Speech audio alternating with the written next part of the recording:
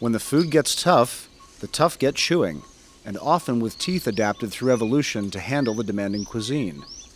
That's the finding of scientists from George Washington University and the National Institute of Standards and Technology, who report that different types of apes use these special teeth to chew foods that become the fare when their usual staples are scarce.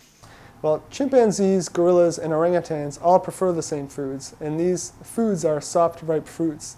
Um, but they don't actually have similar tooth morphology. They have some uh, significant differences in their teeth. Um, and based on observations in the wild, we had some ideas as to why this might be, but we really had to come to NIST and do some experiments here to gather the data necessary uh, to support those ideas. For chimps, gorillas, and orangutans, the usual daily menu means fruit.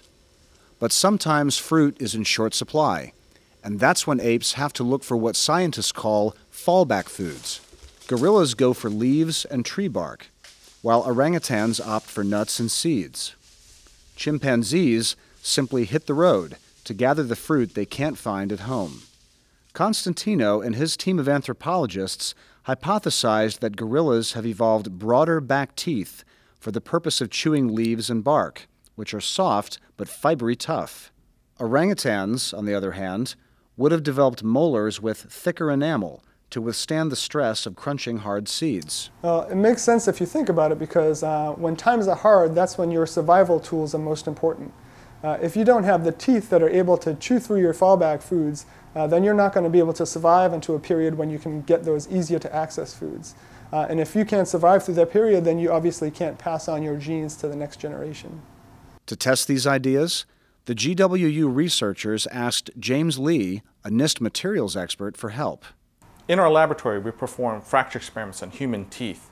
And from these experiments, we develop models that could be applied to other animals. Uh, we thought that this really, this technique could shed some light on how primate teeth may have formed. The NIST data support the GWU hypothesis that apes develop their special teeth for fallback foods. In addition, the researchers say they may have evidence showing that fallback foods have influenced the form of ape jaws and skulls and their results could have important implications for the apes of today.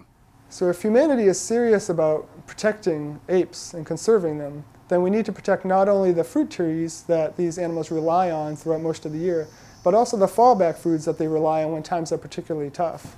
Our research shows just how important and influential these fallback foods are. And apes have evolved over millions of years the tools needed to access these foods, uh, but they still have to be able to find these foods in the first place.